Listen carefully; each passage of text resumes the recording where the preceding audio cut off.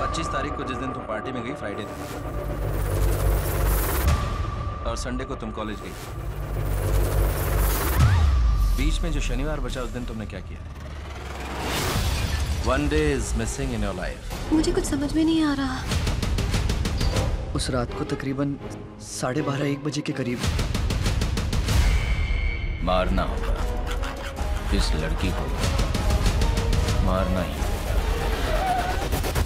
तू पागल है कि नहीं मैं नहीं जानता। लेकिन मैं पागल हूँ ये यहाँ के सब लोग जानते हैं। मुँह खोलेगा कि खोपड़ी खोलूँगा बहुत दिमाग चला मुझे सिर्फ़ एक सुराग चाहिए था। उस लड़की को मत मारो!